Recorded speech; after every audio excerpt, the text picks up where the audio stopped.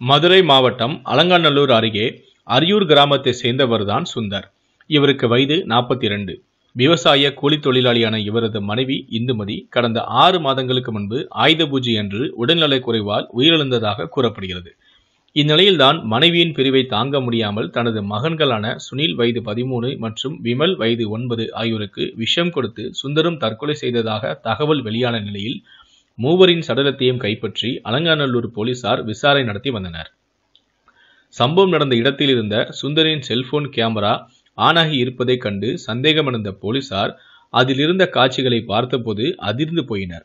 தற்கொலை செய்வதற்கு முன்னால் தன் இரு மகன்களுடன் சுந்தர் பேசிய வீடியோ முழுவதும் அதில் பதிவாகி இருந்தது. லட்சுமி என்ற பெண்ணுடன் சுந்தருக்கு தகாத உறவு இருந்துள்ளது என்றும் ஏற்கனவே வேறு ஒருவருடன் திருமணமாகி குழந்தை இருந்த லட்சுமி சுந்தரின் மனைவியான இந்துமதி இறந்த பின்பு சுந்தருடன் வசித்து வந்துள்ளார். அப்போது சிறுவர்கள் இருவரையுமே லட்சுமி கொடுமை செய்ததாக கூறப்படுகிறது. அது மட்டுமல்லாமல் பணம் கேட்டு சுந்தரையும் டார்ச்சர் செய்துள்ளார்.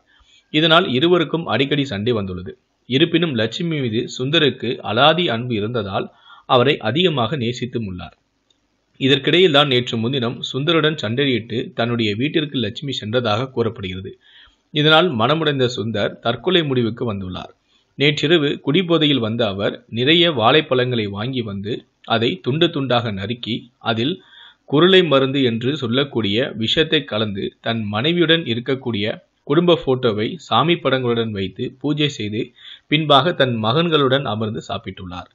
தான் தற்கொலை செய்வதற்கு முன்பாக அஹ், இருந்து இருக்கும் வரையிலான தருணம் வரை அனைத்து காட்சிகளையுமே அவர் தனது கேமராவில் பதிவு செய்துள்ளார்.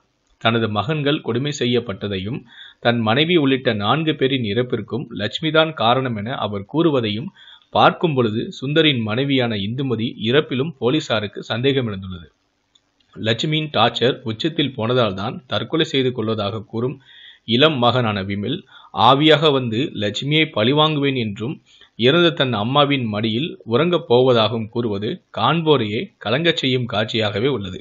மனைவி இறந்த சோகத்தில் மகன்களுடன் தந்தை தற்கொலை செய்து கொண்டதாக பார்க்கப்பட்ட இந்த வழக்கு தற்போது அவர்கள் வெளியிட்ட வீடியோ மூலம் வேறு கட்டத்தை எட்டி இருப்பதாக சம்பந்தப்பட்ட லட்சுமி அழைத்து அலங்கநல்லூர் போலீசார் தீவிர விசாரணை நடத்தி வருகின்றனர். தற்கொலை வழக்காக முதலில் பார்க்கப்பட்ட இந்த வழக்கு தற்போது தற்கொலைக்கு தூண்டிய வழக்காக மாற்றப்பட்டு உள்ளதாக போலீசார்களும் தெரிவித்துள்ளனர். இந்த இந்த வீடியோவை பற்றி உங்களுடைய கருத்துக்கள் என்ன அப்படிங்கிறத மறக்காமல் பதிவு பண்ணுங்கள் மேலும் இது போல பல வீடியோக்கள் பார்க்கணும்னு வச்சிங்கன்னா மறக்காமல் நினைச்சா நீங்கள் சப்ஸ்கிரைப் பண்ணுங்க. கூடவே அந்த பெல் சிம்லையும் மறக்காமல் கிளிக் பண்ணுங்கள் இந்த வீடியோவை நீங்கள் ஃபேஸ்புக்கில் பார்த்தீங்கன்னா இந்த பேஜை மறக்காமல் லைக் பண்ணுங்க. ஃபாலோ பட்டனை கிளிக் பண்ணும்போது சி ஃபர்ஸ்ட் ஆப்ஷன் கிளிக் பண்ணுங்கள் அப்போ தான் நம்ம சேனலில் வீடியோக்கள் போட்ட உடனே உங்களுக்கு நோட்டிஃபிகேஷன் மெசேஜ் உடனுக்குடனே வந்து சேரும். நன்றி. மீண்டும் ஒரு நாளில்